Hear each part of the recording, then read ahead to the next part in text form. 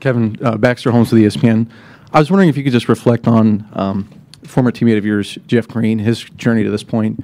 You guys share the unique distinction of being the last two active Sonics, and then also you dedicated, I think, a, a season to him when he was going through his, his heart surgery some years ago. Oh yeah, this is deeper than basketball. Me and Jeff. Um, of course, I'm ex- um, happy to be playing against him. Excited to compete against him.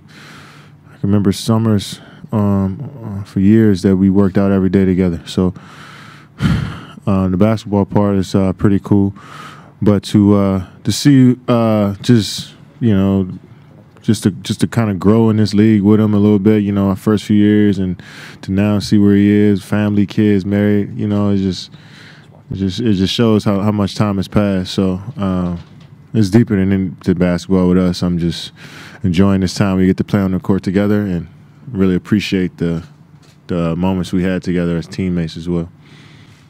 Hi, Kevin. Jane? Janie McCauley from the Associated Press. Um, Draymond talked the other night just about a few lucky breaks, maybe. I mean, he, he said that sometimes you're going to get a little luck. Do, you- do you agree with that? That sometimes that's going to play into it? And, and also, you, you referenced boxing out and some of the things that you think you guys need to do better in game two. Um, what are some of those things? Yeah, if we focus in on and on what we need to do is try to lock in on the details as much as possible. You know, that's just with any game. But if you try to lock in on the details as much as possible, the that luck factor, you know, good luck, bad luck. It's it, it, you know you don't have it creep in if you try if you figure out the the detailed parts to figure you know to be good at those parts of the game, and then you don't let the luck creep in. So you know, we try to do our best to avoid that part, um, and that's by playing focused and better from the start. Uh, you know, it starts with the like I said, small things, rebounding, loose balls. Um, you know, just talking on defense. Uh, movement on offense, that type of stuff. And I think you can ask any player in the league, and they'll say tell you the same thing when it comes to that type of stuff. Third row on the right. Kevin, to your right, just a little. Phil Barber, Santa Rosa Press, Democrat. After two full years here and all you guys have accomplished, are there still some times on the court when you're trying to figure out if it's the time for you to sort of take over or a time to defer and share more with teammates? Uh, I think it's definitely gotten better since uh, last season. Um, you know, that's on me to kind of know the flow of the game, uh, and I think I've done a solid job of that throughout uh, this season and throughout the playoffs. And you know, I had some games where I struggled a bit, um, and that's just a part of it. Uh, but just kind of filling the game out. Each game may be different, you know, and I think that goes into focus. So if I come into the game knowing and being prepared for anything, then I can conquer it. So, you know, but that goes back to just being locked in to start. Kevin Connor Letourneau, San Francisco Chronicle. Watching the film of Game One, what, were you happy with the looks you got? Was it just a matter of shots not going in, or what? What was it? You think? Uh, I didn't take smart shots. Uh, I took I took risky looks. I took some shots that I know I can hit, but uh, I'd rather get better shots than that. Uh, but not m- worried about my makes or misses. It's just more so, am I getting good quality shots? And the rest after that, it'll, it'll figure itself out. So, uh, but you know, glad I was able to contribute and do other stuff as well when my shot wasn't falling and help us get the W. In the center again.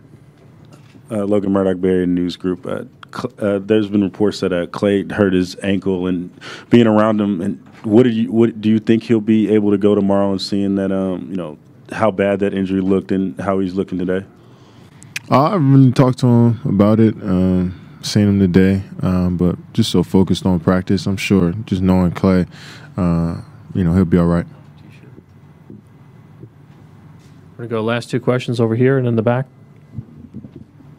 Uh, Michael Pina, Vice Sports. Uh, Rodney Hood did not impact Game One really, um, but uh, what influence can he have on the rest of the series if he's put back in the rotation? And then just generally, what type of a player is he?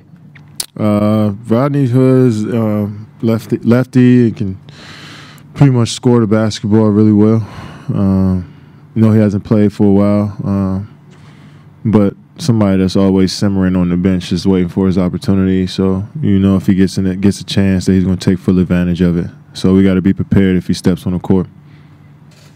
Over here in the center. Ryan Gorcey, San Francisco Examiner. Uh, Kevin, there was a, a moment from the Houston series that it's kind of gone viral a little bit of Coach Kerr telling you, uh, about, you know, about about an anecdote from from the Bulls, and uh, there's been some negative reaction to it. What's been your reaction to that negative reaction? Did it get under your skin at all? No, I really enjoyed that conversation. You know, just having somebody that was that close to the legend, Michael Jordan, tell me, and uh, feel confident that uh, I guess we were in similar positions at the moment. Made me feel good about myself. Um, that he can relate that moment to Michael Jordan. Uh, but um, I always enjoy those stories from Coach Kerr, from Mike Brown, from guys that've been in the league so far, so long, to, to share those experiences with the greats and the guys that kind of did it before me. And uh, I really, really appreciated that moment. I needed it as well. Um, it's good to kind of get a reminder um, from guys that are successful in the league, whether it's now and back in the past, especially, that can uh, to give you some some advice here and there when you need it.